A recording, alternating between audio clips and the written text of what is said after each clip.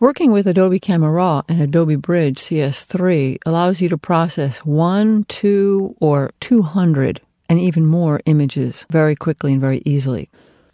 One thing you could do is I'm going to double click on this first RAW file and apply some creative changes.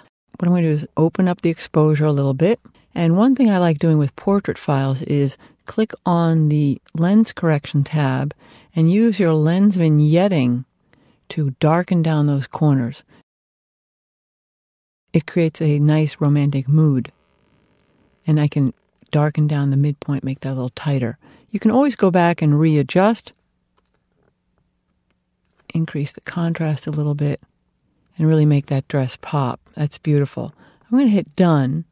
And then you'll notice in Bridge that you have this icon meaning this file has been adjusted. And then suddenly you realize, Oh, you want to apply that change to the next file.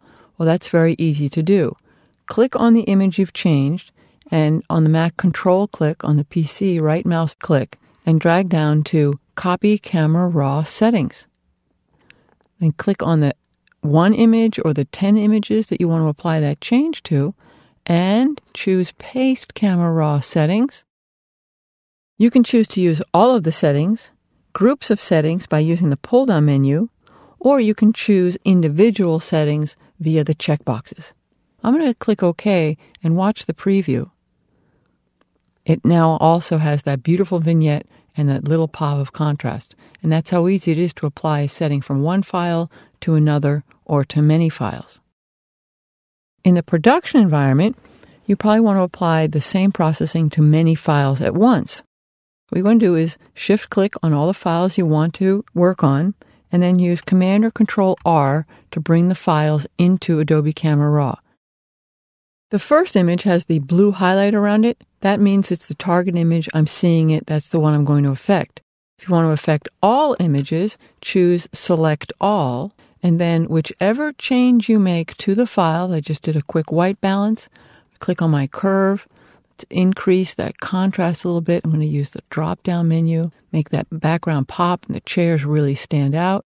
And what's beautiful is you can also choose a crop. In this case, I'm going to use 5 by 7 and get it to fit into the images. Now, what I always do when I do that, I go and check just to make sure that the crop's in just the right place for the subject.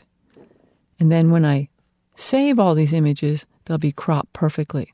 So once again, I'm going to select all, apply the changes, and at the very end, you want to process these images out. I'm going to click on Save Images, and I'm going to call it Chairs, and a serial number.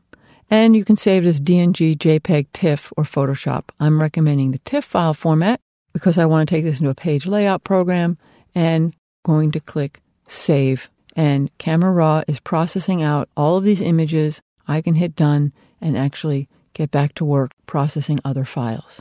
All in all, processing one file in Camera Raw is very easy. Processing dozens of files is just as convenient and efficient.